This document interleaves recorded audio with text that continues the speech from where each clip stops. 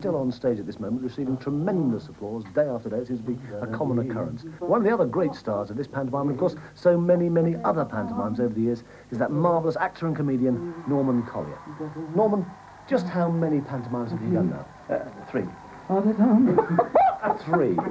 And during the course of those three pantomimes, you've obviously got through that enormous number, a tremendous variety of roles. Absolutely.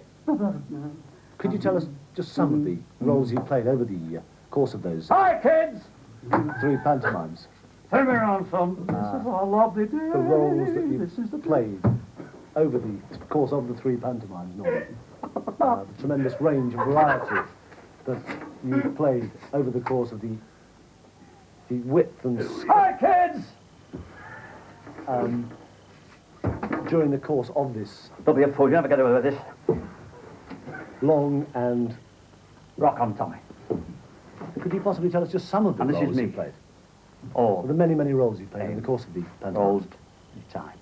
In the old days, the act went on the stage. No such things as microphones.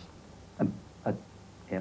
But the act went on the stage, and they should do their act or sing, and the audience shouted to them, "Can't hear you, get a microphone." so now, is, even now with the modern equipment, I've got a sh- skim. Ike, it's Ike, it's Nick, oh, Ike, it's thing, you see. So I mean, it goes on, but you do tend to lose your place when you shout, Ike, Ike, it's Nick, oh, Ike, Ike, you see. That always the time you're working, and time. Uh, all these changing things.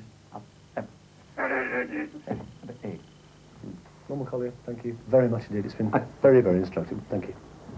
Uh, Chris, ex- excuse me, it's oh, ridiculous to talk like this. This plug's off all the time. This plug, uh, this get the plug, kick the plug, put the plug on again. Like a fool.